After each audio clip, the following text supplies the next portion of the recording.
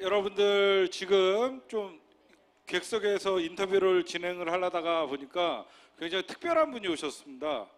진주에서 촛불 집회를 참여하시기 위해서 여기까지 올라오셨는데 정경심 교수의 후배라고 합니다. 와 반갑습니다. 그래서 지금 많이 긴장을 하셨는데 예 오늘 어떤 말씀하셨는데 예 특별히 이분에게는 2분 드리겠습니다.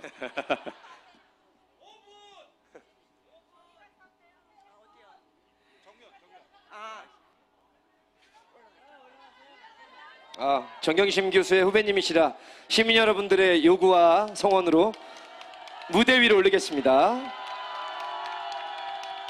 이거 언론에서 주목해 주시길 바라겠습니다. 정경심 교수 후배님의 말씀을 아, 안녕하세요. 어, 저는 오늘 예, 경남 진주에서 올라와서 여기 참석했습니다.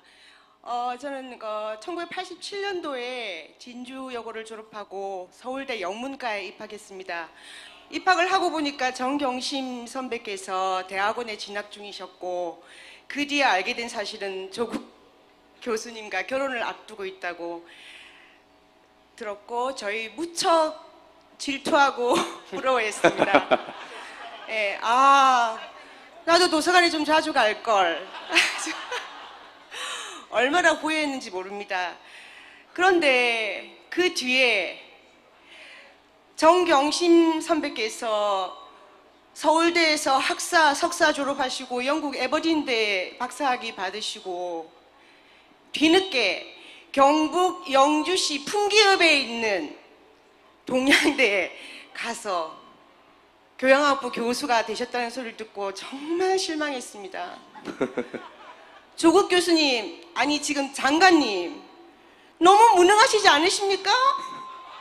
그런 능력 있는 영문학자를 어떻게 경북 영주시 풍계읍에 처박아두고 서울에 그냥 한 자리 팍 꼽아주시지? 너무 무능하시고 오늘 또 이런 고초를 저희 연약하신 선배께서 온몸으로 감당하고 있는 이 현실에까지 왔습니다. 좋습니다. 조국 교수님. 이까지 왔었, 오셨으니까 지금 가족을 지금 이 저 사냥꾼들의 입에 넣어 주셨으니까 개싸움은 우리가 하겠습니다.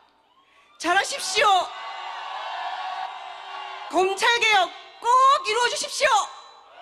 고맙습니다. 아, 아유 저기 사실 이거 하나 정리하겠습니다. 최상의 박사 박사가 아니기 때문에 뭐 석사든 고졸이든 또 아까 나경원 대표의 아들이 초졸이든 국졸이든 이것은 부정부패한 기득권의 말로 정의로운 사람들 국민과 언론을 기만했기 때문에 저희가 국민의 목소리로 응징하는 표현이지 저희 어머님은 초등학교도 안 나오셨지만 누구보다 지금 자유한국당 의원들과 검찰과 기레기들이 잘못하고 있다고 늘 저한테 가르쳐 주시는 현명하신 분입니다 여러분. 맞죠? 초절, 중절, 고절 아무 상관없습니다. 살아있는 양심과 촛불만 들면 그분들이 주권자이고 끝까지 함께 하겠습니다 동양대든 어느 대학이든 지구촌의 어느 대학이든 살아있는 양심으로 지구촌의 평화 행복을 정의를 울부진다면 70억 사회동포 글로벌과 함께하겠습니다. 맞죠, 국민 여러분? 저는 동양대학교 좋아합니다. 교직원들이 자기들이 받고 총장 사인 받고 자기들이 증인을 하고 했다는데도 언론에서는 그 증인들의 말을 일체 실지 않고 있습니다. 이것이 기레기가 아니고 무엇이겠습니까, 국민 여러분?